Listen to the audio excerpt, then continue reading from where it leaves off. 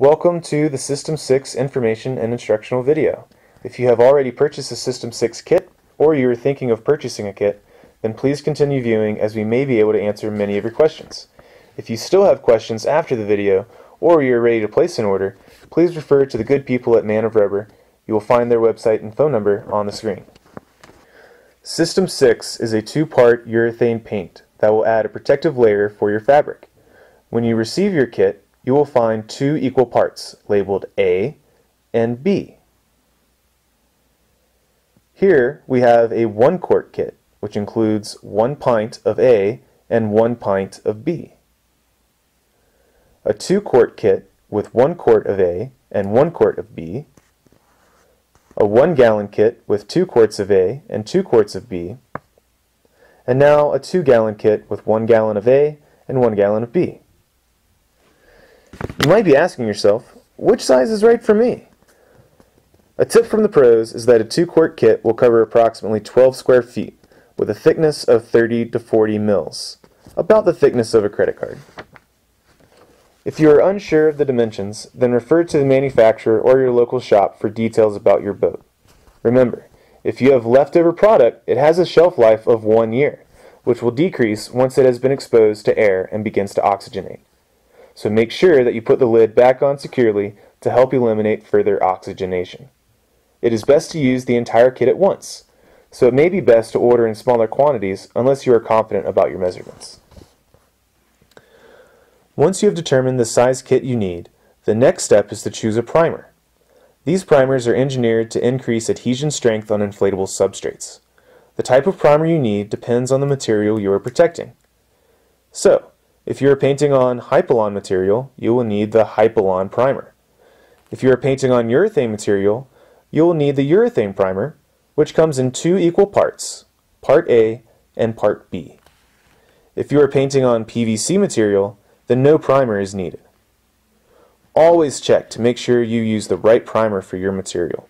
Otherwise, you may find that the urethane will not adhere and will simply not stick to the substrate. A tip from the pros about primers is that you should have a 1 to 8 primer to urethane ratio. So if you're using a 1 quart kit, which is 32 ounces of urethane, then you will need 4 ounces of primer. Your System 6 distributor will be able to help you determine the required amount of primer. Using System 6 allows you to add colors to blend to the pre-existing material, or to add accents or designs. The Stay True colors are a range of pigments that have been engineered to provide exceptional stability and color fastness. In addition to including the most popular raft colors, they also can be blended to match custom colors.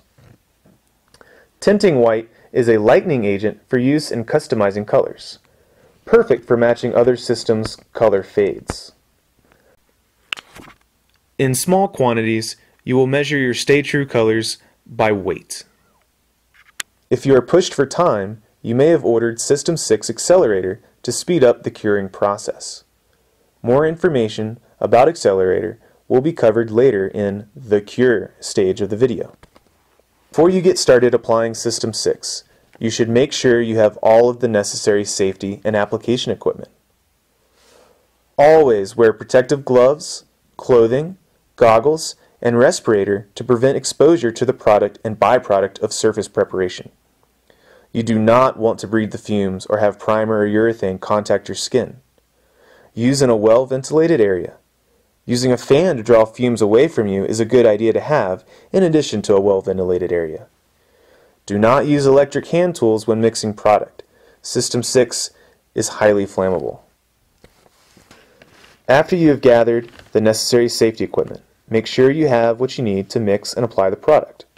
You will need an electric drill, nylon abrasion wheel, 100 grit sandpaper, MEK or isopropyl alcohol when using urethane and PVC, toluene for Hypalon, grease pencil, masking tape, lint-free towel, a couple short napped 4-inch rollers, a couple clean mixing containers, a steel wool pad, soapy water, clean water, and some paper towels.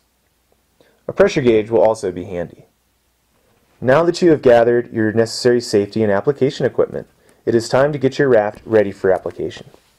The following nine steps will make up the prep portion of the video. Step 1. Begin by cutting away any and all loose material.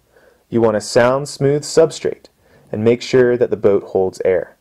If not, make the appropriate repairs. If you try to patch a leak with just System 6, air will push through before the product can cure and you will still have a leak. Step 2. Inflate the boat. Do not inflate to full working pressure. About 1.5 psi is ideal. You can use an inflatable pressure gauge to be exact. Step 3. Using a steel wool pad, scrub the area to be coated with soapy water. Rinse completely with clear water to rid the area of any detergent residue. MEK, or isopropyl alcohol, can also be used to further ensure that the area is residually clean. Please note that MEK will stain PVC, so it must be used sparingly with the utmost precaution. Step 4. Do not touch the cleaned area. Step 5. Determine the area you wish to coat and mark the edges of that area with a grease pencil. Grease pencil marks could be a potential source of contamination, and after step 9, remove the grease pencil marks. Plan to coat an area that is at least 2 inches beyond the area that you're trying to protect or repair. You're going to coat inside the taped area. Step 6.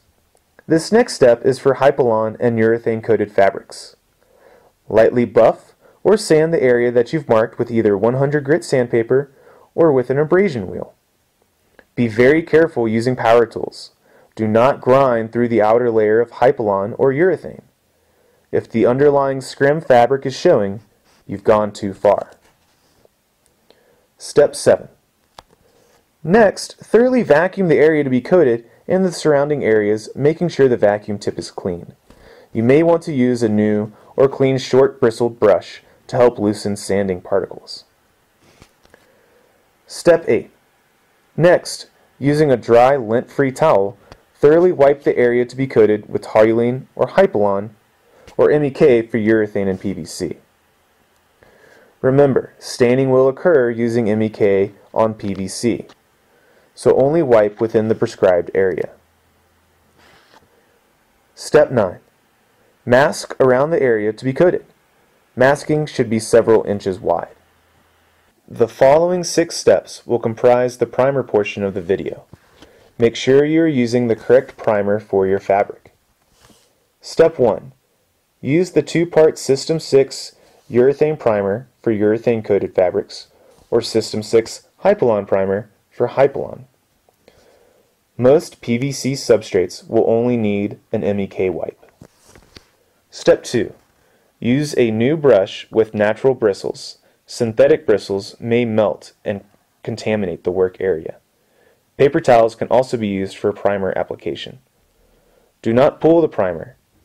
Tip from the pros is thin to win. Step 3.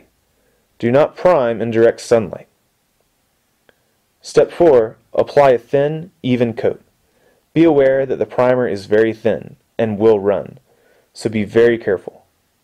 Step 5. Let the primer dry to a tacky state, typically 10 minutes on a warm day. The following four steps will take you through the urethane application process. If you are unsure about applying for the first time, then start with a small practice batch. Step 1. Rolling is easiest, so the following assumes the use of a roller. Use a short napped 4 inch wide roller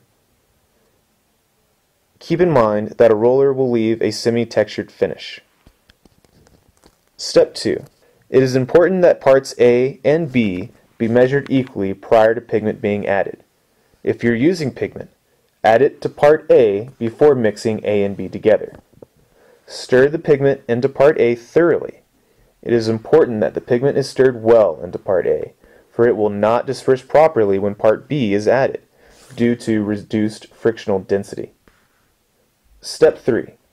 To mix the urethane, pour equal parts A and B into a clean container. Measure accurately. A graduated 1 gallon plastic bucket makes for a good container. If System 6 Accelerator is included in your package, then empty its full contents into the mixing container. If you are only using half of A and B, then only use half of the accelerator. Thoroughly stir the mixture vigorously for at least 5 minutes. This is important. Be sure to scrape the sides and the bottom of the container when stirring. Do not mix more than can be applied in 45 minutes. Apply the urethane immediately. If urethane is too thin, you may let it stand for 10 to 15 minutes. Step 4. Do not coat in direct sunlight. Make sure there is plenty of ventilation, that you are wearing the correct respirator, rubber gloves, and protective clothing. Do not breathe fumes or get the urethane on your skin. Begin coating the area where you want the thickest layer first. Wait 15 to 20 minutes between coats. If sagging occurs, give more time between coats. Do not allow the urethane to touch the masking until the final coat. Hence, moving from center of the area to the outside will allow for optimal build and symmetry. Removing the masking after the final coat has started to cure, about 30 minutes. Recommended thickness for the bottom chafer is about 30 to 40 mils, about the thickness of a credit card. Other areas should be about 10 to 20 mils. Each rolled coat should add 4 to 6 mils.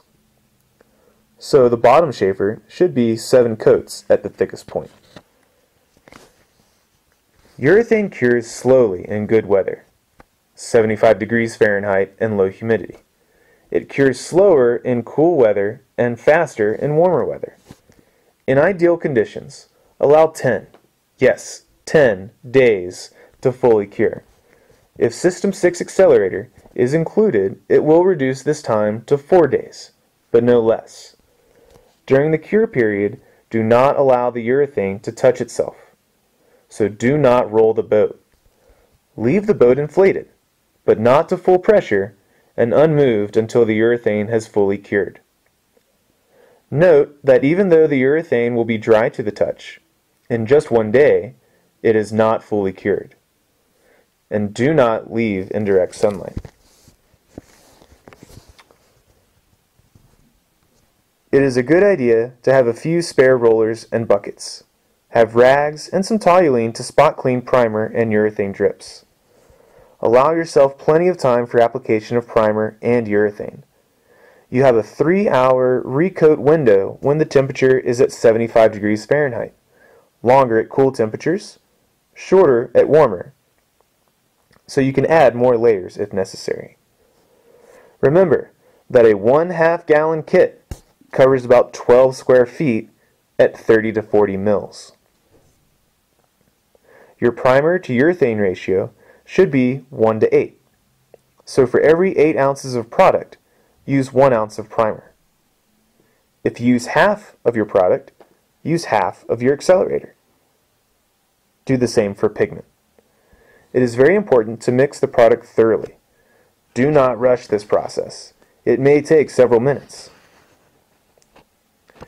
If you have any other questions about application or purchasing product, please contact Man of Rubber.